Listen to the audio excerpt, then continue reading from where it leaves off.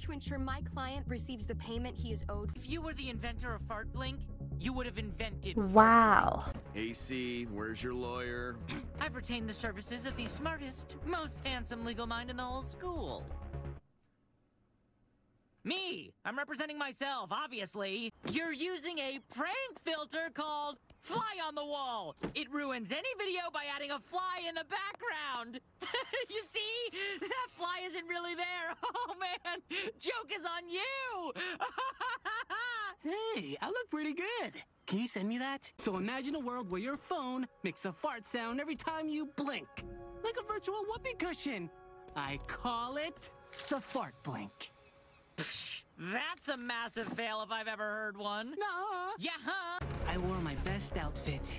Our product had fundamentally changed the local tech industry. When I first came up with the idea for Fartblink, people said it would never take off. That's a massive fail if I've ever heard one. A little honesty and self-awareness go a long way. Liar! I thought we were friends! You think you can go behind my back like that? I want what I'm owed! You better lawyer up! I'm coming back for everything! And I'm taking two of these! And now I will hear your closing arguments since the craft club needs the room. May I present Exhibit A?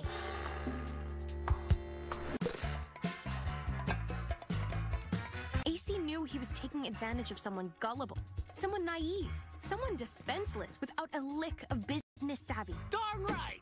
I rest my case. AC, your closing argument? Ahem. Finders keepers, losers weepers.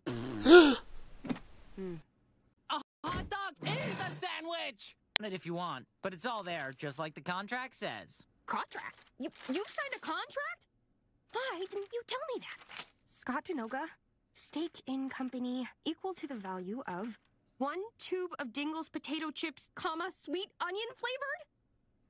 This is why you need to read everything you sign. I did! Paid in dingles? That's better than money.